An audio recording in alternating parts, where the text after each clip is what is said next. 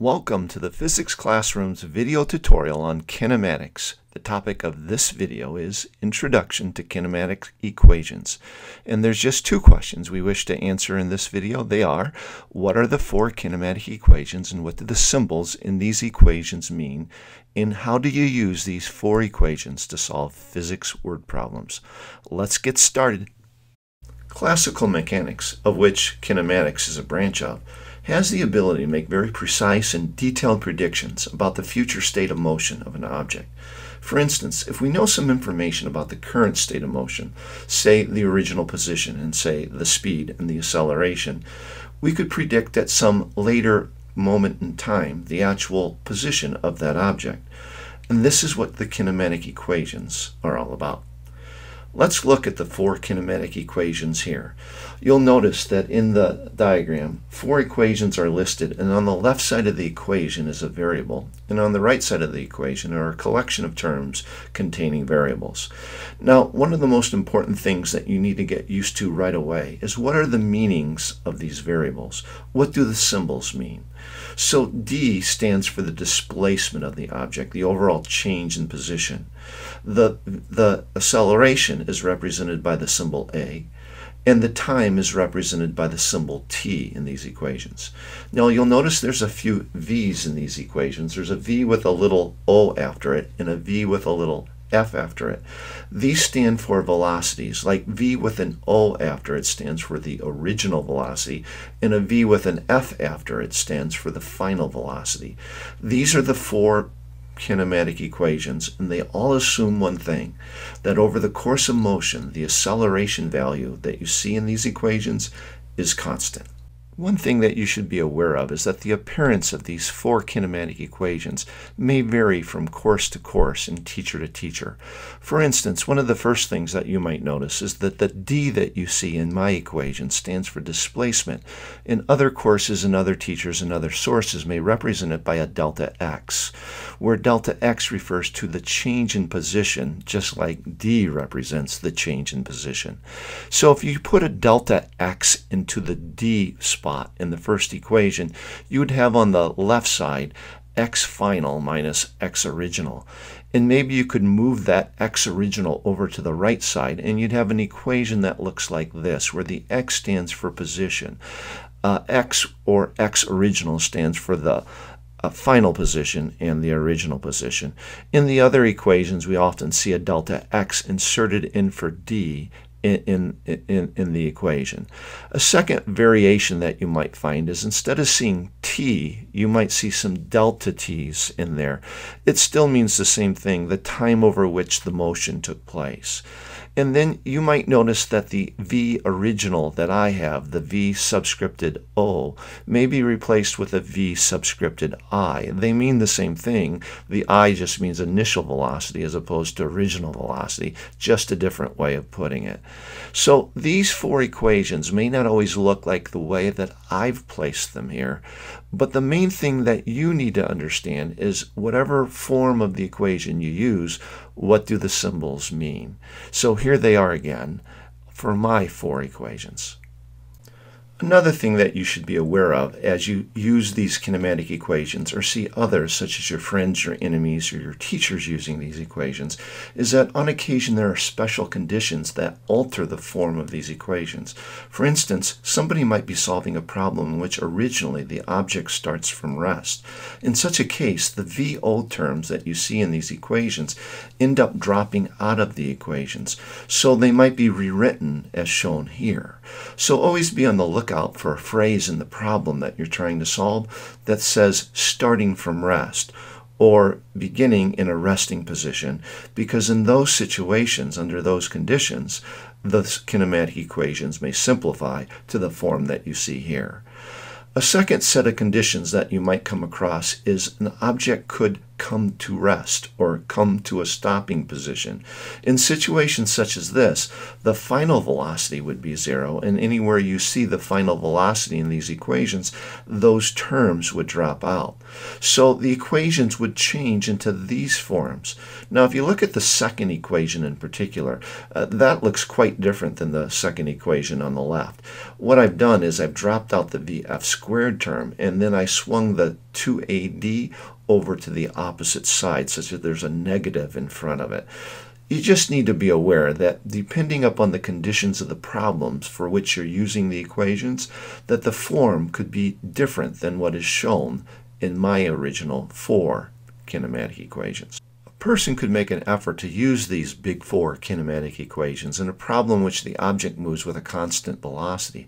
In such instances, the acceleration is zero, and any term that has a in it will drop out of the equation.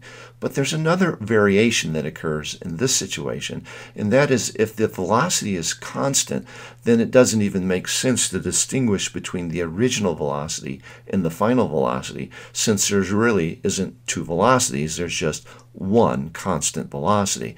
So when we have a constant velocity problem, the equations turn to this form. You'll notice the first and the third equation have some meaning. Distance equal velocity times time. That's just simply the rate equation that you've probably known for some time. You'll also notice that the second and the fourth equation are not useful at all. Certainly you don't need to know physics in order to tell that the final velocity is equal to the original velocity when it's not changing. These big four equations are typically not used for constant velocity problems. We just typically use d equal v times t. But we instead use these four equations for accelerating problems in which there's an acceleration. And now we get to the useful part learning how to use the kinematic equations to solve physics word problems. So what we've seen so far is that there are five variables in these equations, but not a single one of the equations contains five variable values in it. In fact, each equation has four variables in it, four symbols. So the strategy that we use to solve a problem is to look through a problem like the one that you see here, and try to find three known values in order to solve for the fourth variable that the problem requests. For instance, here we see 18.5 meters per second, 46.1 meters per second, and 2.47 seconds. This is the V original, the V final, and the time. And what we're looking for is a distance value. And so we're look, we are going to look for the one equation that has VO, VF, T, and D in it, and that's the equation that we'll use to solve this problem. So the basic strategy will go something like this. First, we're going to read the problem carefully and we're going to identify all known values of, the, of, of, at least three of the five variables. In fact, we're going to write down the known values and relate these values to the symbols that are used in the equations. For instance, we might say something like V original equal 15 meters per second. Then we're going to identify the unknown variable. We're going to write it in symbol form. For instance, we might say find the D now that you have four variable symbols, three with known values and one with an unknown value, you're going to look through the list of four equations and find the one equation that contains these four variables. Once you've found it, write it down. Then you're going to substitute the known values into this equation and you're going to use some algebra and calculations to solve for the unknown variable value. Sounds easy, doesn't it? Well, let's give it a try. So here's our example problem. And what we're going to do is we're going to use the strategy that's listed here on the right side of the slide in order to solve this problem. And the first step of the strategy is to look through the problem and identify three variables whose values are known. So a car starts from rest, and I see that starts from rest, and that's an indication indicator to me that the original velocity is zero. And it accelerates over a time of 5.21 seconds, so I know the time.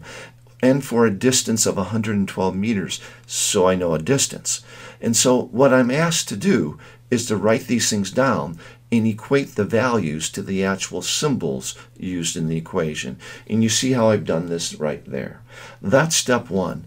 Now I look for what am I trying to find? Identify the unknown and write it down in symbol form. And I'm looking for the acceleration, determine the acceleration of the car. So what I do is I write down A equal question mark or find A or something like that.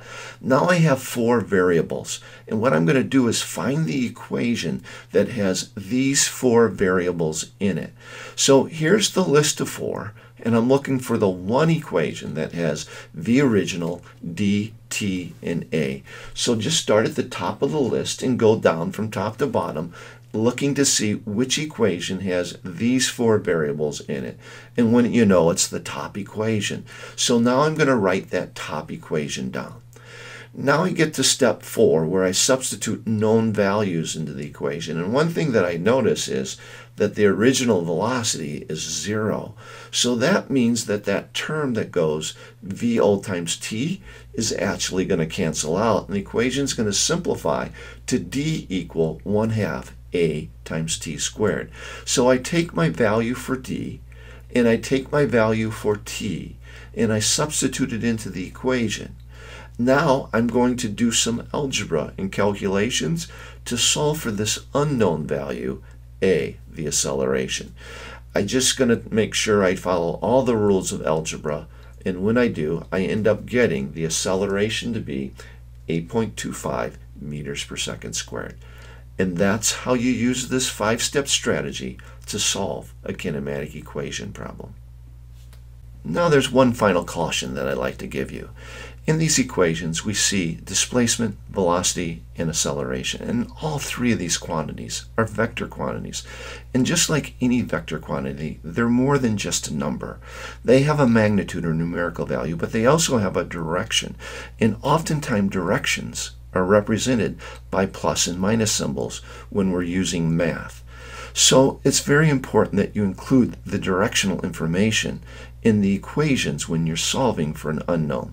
For instance, here you see that a car is approaching an intersection at 24 meters per second and it brakes to a stop. So I know an original velocity and I know a final velocity and I'm told the car is losing 8 meters per second every second. Determine the braking distance. So when I write down my known variable values, I'm going to have to be very careful because this acceleration value is a negative 8 meters per second per second. And so when I do this problem, it's important that I substitute in negative 8 in the place of a when solving for my unknown distance. Well, we've done it. We've accomplished the purpose. We now know what the four kinematic equations are and what the symbols represent, and we have a fairly decent idea as to how to use the equations in order to solve physics word problems. It's at this point in every video that I like to give you some help, a way to make the learning stick. I like to give you a learning action plan to help you make this learning stick and stay with you for a while. But before I do, I was wondering if I could ask you to help us out. If you like the video, why don't you press the like button down below and give us a like? And if you like the video, maybe you'd like to have more videos like this, why don't you subscribe to our channel? And if you do, you'll get notifications whenever a new video comes out. And there's going to be a whole lot of those coming out this year. And finally, if you have a question or a comment, why don't you leave it down below in the comments section? Now, here's the learning action plan. First thing I'd like to suggest that maybe you do is head off to our website. You'll see a section there called the calculator pad. And when you go to the calculator pad, what you're going to get is a whole set of problems along with answers, along with audio guided help. Now, if you're trying to practice kinematic equations, go to the 1D kinematics section and look for questions 18 through 35. Every one of those questions has to do with, in one way or another, with the use of kinematic equations. Another place on our website where you can find some help is in the review session section. Now, this is generally used to review for tests and quizzes and such, but you can go there at any point when you're trying to learn kinematic equations. You can go to the kinematics section of the review session and do questions 43 through 50. And finally, we have a page on our website in which there are 20 kinematic equation problems, answers, and very thorough, worked out solutions to those problems. It's in the Physics Classroom tutorial, and I have a link to that page down below. In fact, all of these resources are linked to in the description section below this video. Well, whatever you do, I wish you the best of luck. Good luck to you.